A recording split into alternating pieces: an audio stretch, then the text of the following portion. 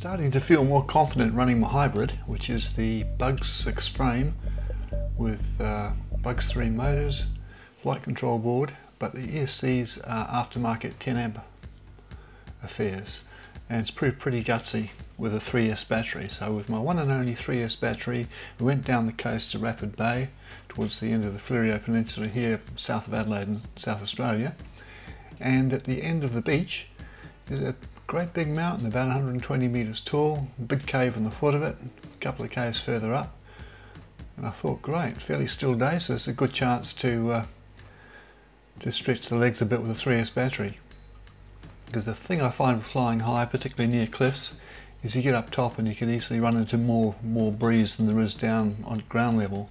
So you want to be pretty sure that you uh, don't get blown over the top and lose uh, radio contact.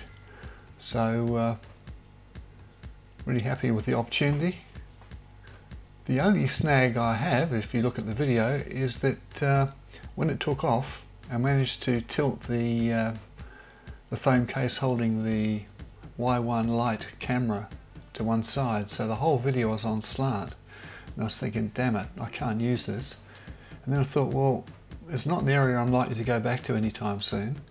Um, so I'll mess around the video with the editor and see if I can uh, put the thing up on a slant and also use the footage from the uh, the Foxeer Foxeer Razer Mini with the, the nose cam so that's the composition you're looking at now so overall, a record of a successful flight.